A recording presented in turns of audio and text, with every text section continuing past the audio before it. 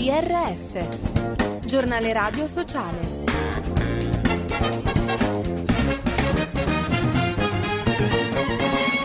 Lo sport a integrazione si è aperta ieri a Castelfranco Emilia in provincia di Modena la diciannovesima edizione dei mondiali antirazzisti organizzati dall'UISPA. Il servizio è di Ivano Maiorella. Cominciano ufficialmente i mondiali antirazzisti 2015. Let's start with mondiali antirazzisti